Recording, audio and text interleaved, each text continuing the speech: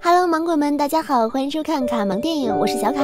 今天要给大家带来一部一个漂亮的渣女在两个帅气的男人之间徘徊的故事——夜以继日。小美呢是个年轻漂亮的女孩，连我看了都忍不住想说，小美就是男孩们初恋的样子吧。她呢生活在大阪，这天她去看一场摄影展，她的目光停留在一张双胞胎姐妹的照片上。男孩麦子哼着歌从小美身后走过，引起了小美的注意。麦子穿着宽宽大大的白色 T 恤，头发乱糟糟的蓬在脑袋上，脚下穿着一双人字拖。摄影展结束后，小美又在电梯上遇到了麦子。小美就这样不远不近地跟着麦子的脚步，直到两人走到小美来时经过的天桥。小美和麦子朝着不同的方向走去。原本在这里放炮的孩子们随着炮声一哄而散。小美和麦子同时转过身望向彼此，只是因为在人群中多看了你一眼。麦子走向小美，说道：“你瞅啥？”小美说：“瞅你咋的？”接着，麦子就对着小美的嘴唇吻了下去，两个人就这样在一起了。麦子把小美介绍给自己的朋友小琪，小美也叫来了自己的好闺蜜春春，聊了一下，发现几个人好像都有着丝丝缕缕的关系。小琪是春春同校的学长，还参加了同一个社团，但春春还是直言不讳地告诉小美不要和麦子在一起。她虽然颇有几分姿色，但看起来就很不靠谱。吃完饭，几个人去酒吧嗨。麦子那充满艺术的造型，果然还是当个 DJ 的料。小齐拉着小美一起跳舞，突然来了个流氓想调戏小美，小齐支支吾吾在旁边不敢说什么。麦子则跑过来一脚踹飞了小流氓。春春抢在麦子前面拥抱了小美，还又一次劝解小美不要和麦子在一起，否则会受伤。而恋爱中的女人哪里听得进去这些？小美觉得和麦子在一起做什么都好。哪怕是骑摩托车摔倒了，都能就地躺着拥吻起来，丝毫不理会围观人的目光。麦子住在小齐家的房子里，因此几人常常在小齐家聚会。小齐的妈妈温柔又可爱，在她眼里，小美和麦子的感情看起来是万分美好的。晚上刚吃完晚饭，麦子就说自己要去买明早吃的面包，结果却一夜未归。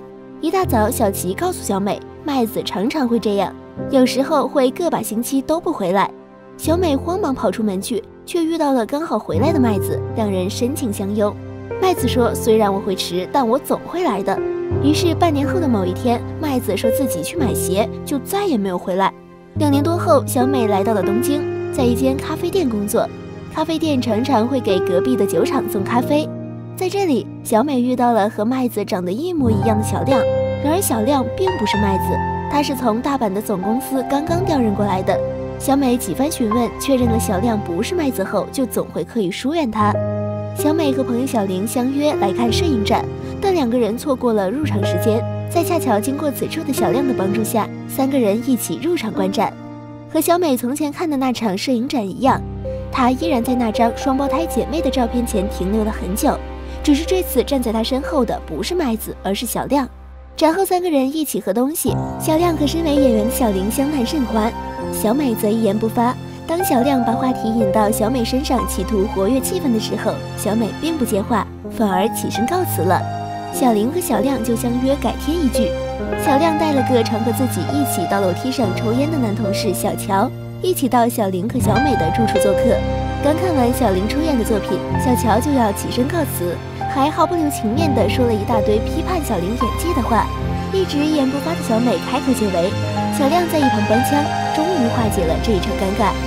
小亮渐渐觉察到了小美对自己的躲避，在小美来公司拿咖啡壶的时候，把她堵在了楼梯上，深情告白了一番。小美没说什么，却接受了小亮的吻。此后四个人就偶尔一起聚一聚。可好景不长，面对和麦子长相一样、性格却截然不同的小亮，小美决定不再见面。小亮想去小玲的舞台剧表演现场偶遇小美，把话说清楚。没有等来小美，却等来了一场地震。或许是突如其来的灾难会让人的内心更加脆弱，所以小美和小亮还是在一起了。转眼到了五年后，两个人感情稳定，同居在一起，还养了一只猫。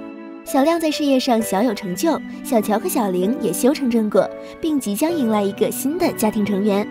由于两个人是在地震后在一起的，所以每年他们都会开车去东北支持灾后复兴。此行回来后，小美对小亮表达了深深的喜欢，小亮则把小美的喜欢当成自己努力的动力，一切看起来再美好不过。小美却在商场偶遇了多年未见的老朋友春春，此时小美才得知麦子现在已经出名了。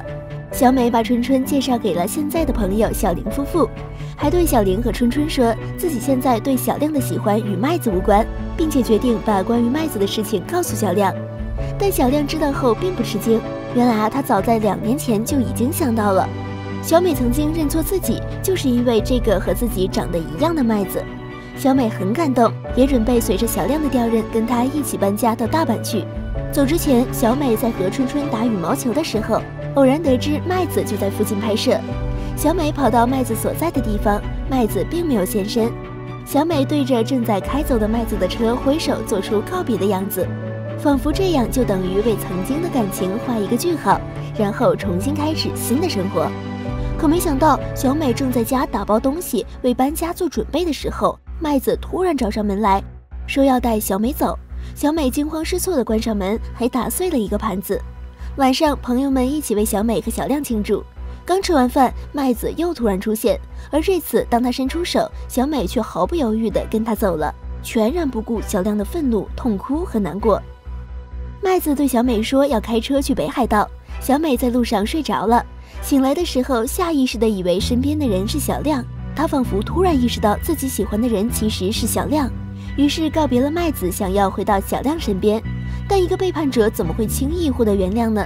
小亮不想理小美，跟她说自己把猫给扔了，还告诉她说自己不会再相信他了。被小亮关在门外的小美只好先去找猫。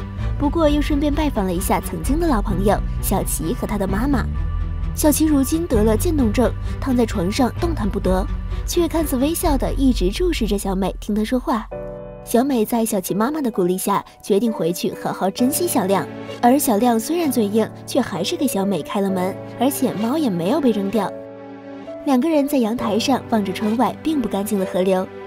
电影就这样结束了。有人说，这部电影中分裂的不是男主，而是小美。一个小美渴望安稳的幸福，一个小美被说走就走的随性吸引。但我只想说，小美真的是太渣了，徘徊在麦子和小亮中间，被麦子伤害，又去伤害小亮。而且麦子最后回来找小美的时候，居然还大言不惭地说，要不是小美跑去追着车挥手告别，你会主动来找她吗？